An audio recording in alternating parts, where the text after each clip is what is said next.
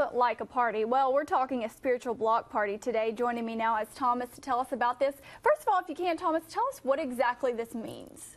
Uh, actually, uh, the spiritual block party is going to be tomorrow, uh, Saturday from 5 to 8. Basically, what it is is that it's a spiritual uh, event uh, for Mm-hmm. Nehemiah 4 and 14, just really resurrecting and reconciling uh, families. You know, somehow the ball's been dropped. Uh, we come from uh, broken homes, you know, Mm-hmm. single parent homes, and just messed up foundations. So we was really just, with the help of local churches, local youth groups, and local acts, just really just reconciling the family and the spiritual foundation. Just give uh, people a, a God-given sense of what God's plan was to resurrect families and have order in the home.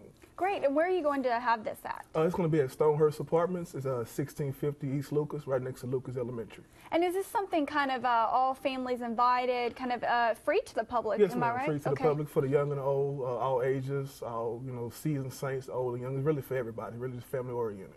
So uh, I guess you kind of go to that address, the, the apartments. Is there like a common area? They just kind of go in there. Yes, ma'am. It's going to be at the local clubhouse. As soon as Okay. you turn in, you'll see the big signs and everything, the balloons, the festivities, and everything. So this is not anything that uh, anyone needs to sign up for ahead of time. They just can just show up. Yes, ma'am. You just show up. Yes, ma'am. You'll see the signs. If You can show up. It's free to the public. You just just come and just worship the Lord with us. And I know you mentioned that this is something uh, to kind of give people hope, but uh, tell us uh, a little bit more about why, you know, I guess th- these groups uh, that you're involved in are, are feeling this is necessary and why you want to do it for our area. Right. We decided to do it right now because we got with the local churches and we feel like somehow, you know, God has been lost in the family in a sense. And like I say, the man is the foundation, woman is the head. But you know, through the society, single parent home, single mother, single father. So we feel like basic, backing off the Bible in the sense that make sure that we have a strong presence of God in the home because we've lost that. We lost God in the schools. We definitely want to lose it in the homes. Absolutely. And is this something that'll kind of have music, uh, food? How is it going to work? Yes, actually? ma'am. We have uh, music. We have uh, three guest speakers. We have guest ministers. We have a uh,